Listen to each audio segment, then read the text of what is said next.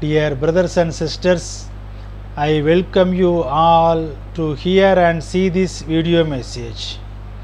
Today we are going to pray for why we need people's police from rulers police in India. Content for this video I given in the description. You can go through and study. As per the police laws, both the central and state police forces come under the superintendent and control of political executives. This has resulted in the lack of democratic functioning and appropriate direction. Police priorities are frequently altered based on the will of political executives. Neither the politician nor the bureaucrats want to lose their control over the police. This enables the executives to reduce the police to mere tools in the hands of political leaders to fulfill their vested interest. It seems that the police force has become a puppet in the hands of its political masters. Despite of several reforms laid by the commissions and the government, there has been very limited reforms in the police department due to political pressure on the police force. They are unable to perform their duties and responsibilities within proper laws laid down.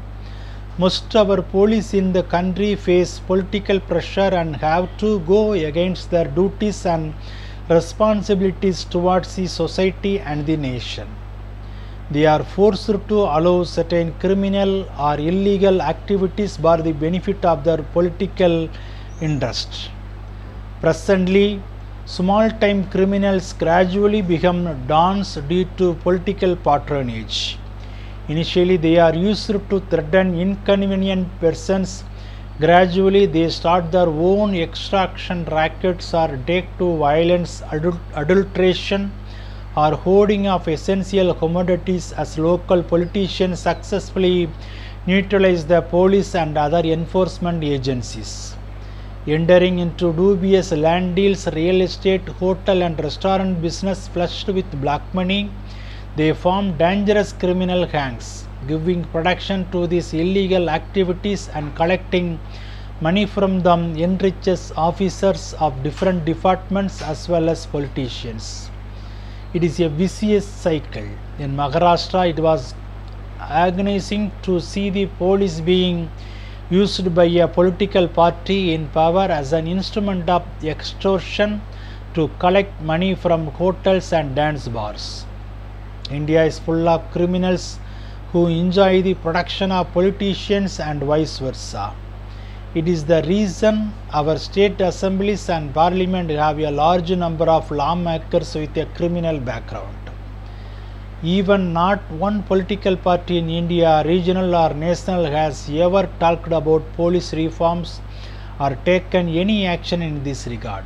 They only criticize the party in power to score political points.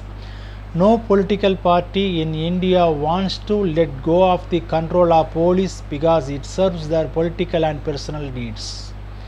There have been several police commissions and committees, reports, and even orders of the Supreme Court of India suggesting quite a few police reforms, but none of these have been implemented in letter and spirit by the central and state governments.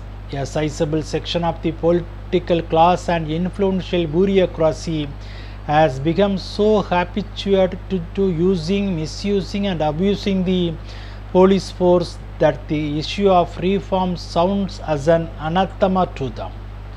Moreover, not all police officers are reform minded. Many young IPS officers lost their idealism early in their careers because of fear of vengeful politicians or disloyal subordinates. The fears of proactive, dedicated officers about reprisal over honest action against powerful men in society and politicals are well known. Every time there is a change in power in any state after an election, the first official change or transfer that happens in usually of the Director General of Police or a, and a few other police officers down the line. New, new post, postings are done on the basis of political proximity, caste and greed and loyalty, personal agenda, and sometimes money. As such, the political party that was in power until a day ago starts criticizing the new party for the functioning of the police force as if the police and its functioning changed overnight. The police have always been an exploitative arm of the government, irrespective of which political party was in power. This has been the standard practices in India since independence and in all states across the country. The police leadership too has sometimes failed to do its duty impartially and joined hands with the politician to remain comfortable and enjoy some benefits. They also protect each other in terms of any political or administrative crisis. Since the police is a state subject according to the Constitution of India, there has to be a consensus among the central and state governments. If the political class decides there is a need to amend the constitution to bring the police under the union list or concurrent list, then all the parties have to be on board.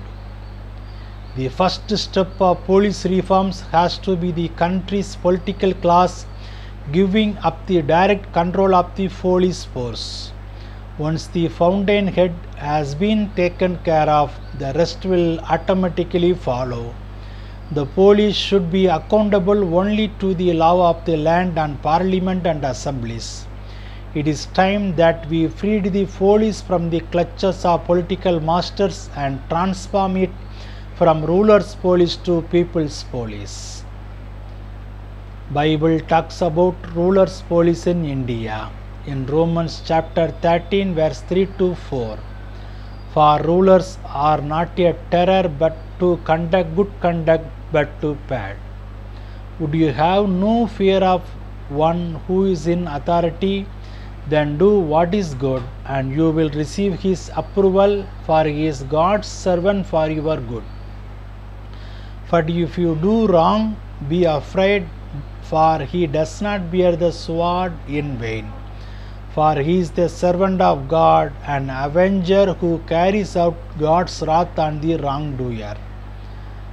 Also in Proverbs chapter 28, verse 2. A lawless nation will have many bad leaders, but a smart leader will rule for a long time in a land where peoples obey the law.